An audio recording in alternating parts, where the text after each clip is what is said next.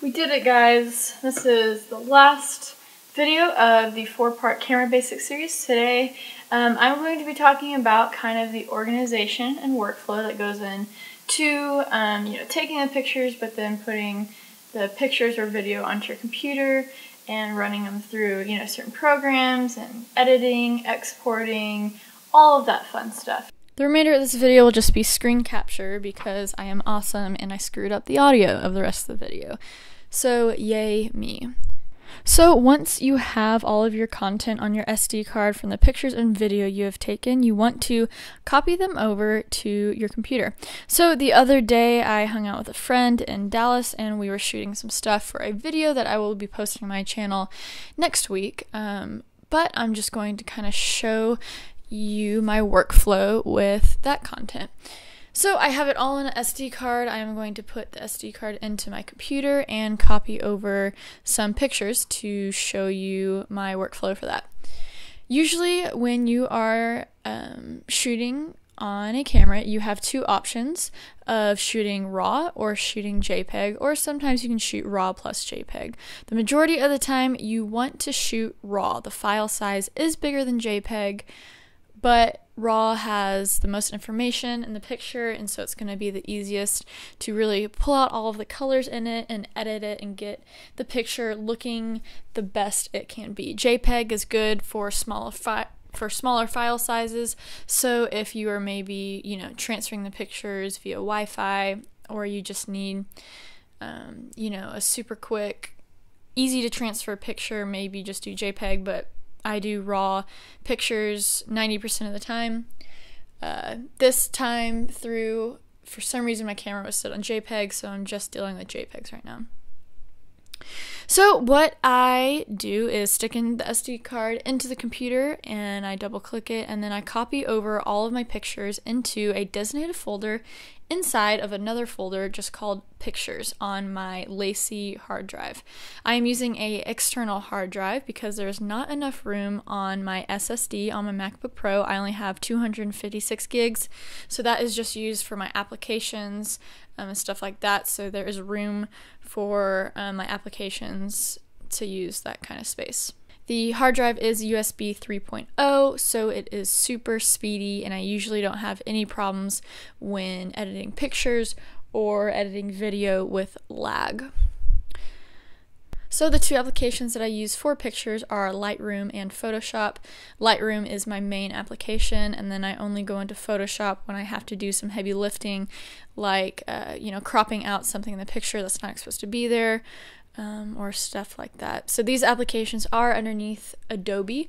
This means you get a application to download. It lives on your toolbar and you're able to download any of the applications that your heart desires from Adobe. This comes at a price point of $30 a month for a student or like $60, $70 a month if you're not a student. And if you just want Lightroom plus Photoshop, so just the photography package, it is cheaper at $10 a month. So hopping into Lightroom, I will now import the pictures that I just copied over onto my hard drive. Now when I'm importing them into Lightroom, this is not moving the pictures.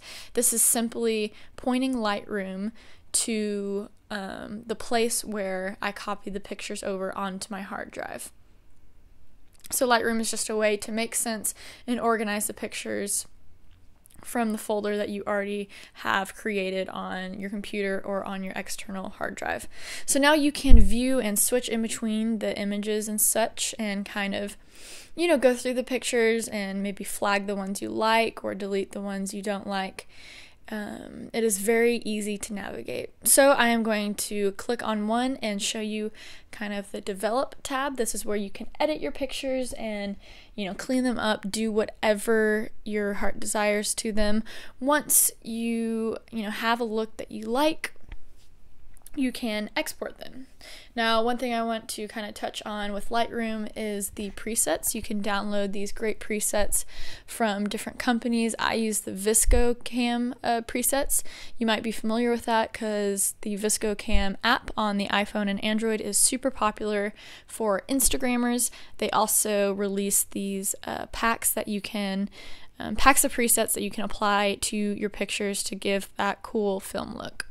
So once you're done with editing your picture, you can export them. Lightroom has a set of great tools to export your pictures and customize the size of them. Your pictures are originally super huge, so like 4,000 by 3,000 pixels. I usually keep it around um, like 1,500 pixels width if I am posting to any social media like Facebook or Tumblr, so I can go down here and press long edge 1,500 pixels. Um, and I usually just specify that the pictures that I am exporting are the edits, so I'll put um, edit as the suffix or prefix of the file name, and I will export them into the same folder that I put my pictures in in the first place, so they are all in the same place.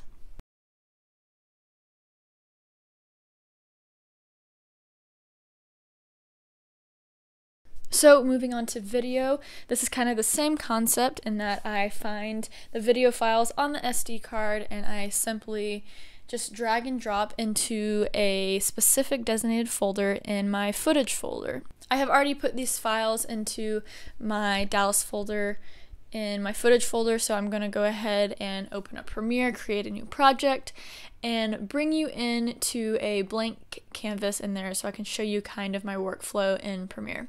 So once I am into Premiere, I will import the footage that I previously had copied over from my SD card.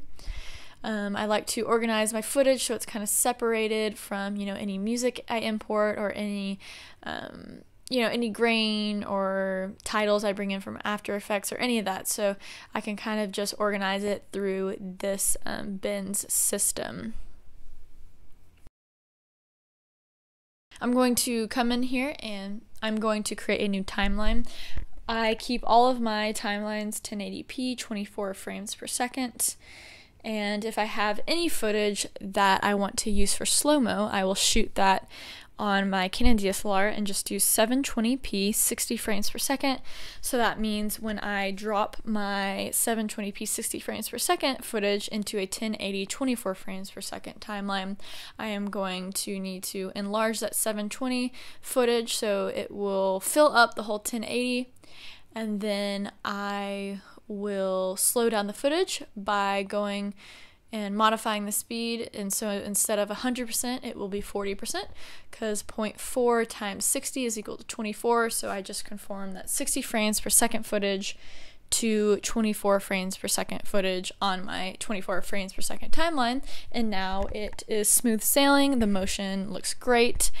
And I have my slow motion. So I'm just going to put a couple more clips together here, make a little movie.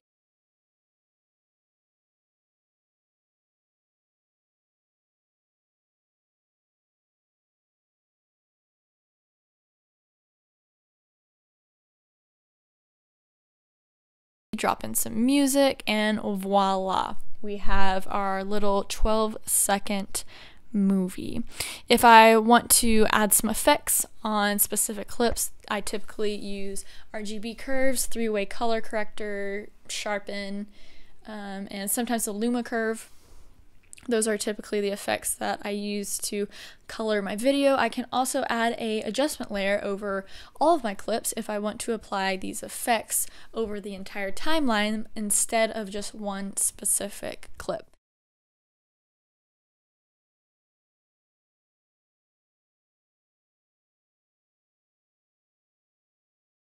So now that we have our movie, I am going to export this so we can upload it to YouTube or Vimeo or wherever our heart desires. So I'm going to go into export settings. I usually do H.264. This is the best codec if you are putting your videos on the web. Um, if you're not, if it's not for the web and you want like best quality, um, you know, the best quality, the closest to what it is when you're editing, I would go with a ProRes codec, which is native to Mac machines. So I'm going to export this movie H.264. I will go down into, um, further down to the render settings. I do a two pass instead of one pass, and I usually up the bitrate just to, you know, make it, make it a little less compressed. So once I have those settings, that is usually all I do. I just make sure my export is in the um, location I want it. I organize my exports and my sequences and all of that in my Premiere folder. It works well for me. I will export that out and we have our movie. That is basically my photo and video workflow. I am a big fan of Adobe and Adobe Creative Cloud. I use their applications a ton. I use them for pictures, for video, for any animations I have to do. Um, you should really check them out and check out all of the programs and all the applications they have to offer because you can get all of them for a monthly subscription fee that really isn't terrible if you are consistently getting jobs. I can see how, you know, paying $30 a month or $70 a month can be annoying if you are not getting consistent creative jobs. But in the long run, it is worth it. It's worth it to learn these programs. They're fantastic and they are becoming, you know, really the industry standard. So if you have any questions regarding any of this stuff, uh, please leave a comment below or find me on Twitter. Uh, make sure to follow me on Instagram. I'm super excited for next week because I am taking a break from these photo video videos and I'm going to be doing uh, more, you know, travel content or maybe some vlogs and then coming up late summer I'm going to be starting my creative TV, Creative Spaces TV series. So, keep on a lookout, hit that subscribe button, hit that like button, and thank you so much for watching, and I will see you in the next one. Bye, guys.